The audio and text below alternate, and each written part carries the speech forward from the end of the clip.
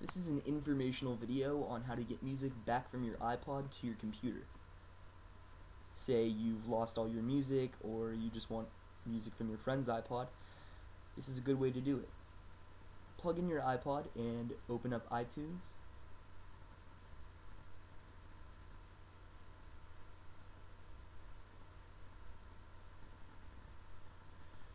Once you've opened up iTunes, select your iPod and go to the iPod screen.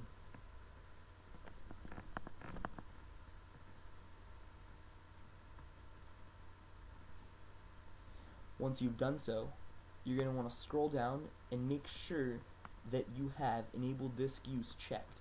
If you don't have that box checked, this might not work. Then, synchronize your iPod.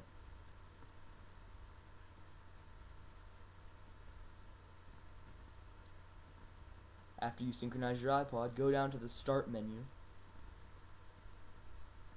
open up your computer,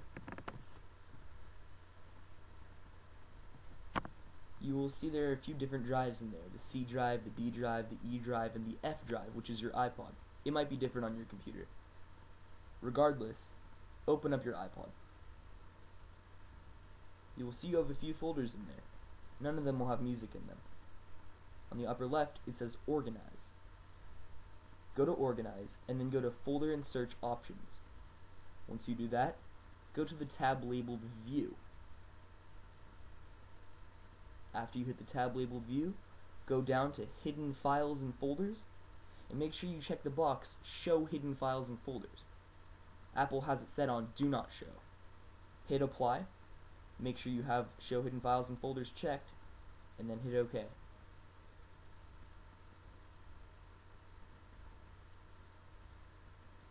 Then, the file called iPod Control will show up.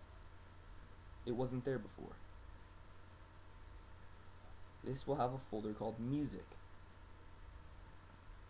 Click it, and you'll have a bunch of random folders. This will have music in it. As you can see, I just played a song that was on my iPod, but not in my iTunes before. Be sure you save all these folders that have music in them away from the F drive. Save them in your hard drive or on your desktop, because after you unplug your iPod, you will lose them. Thanks for watching and please subscribe.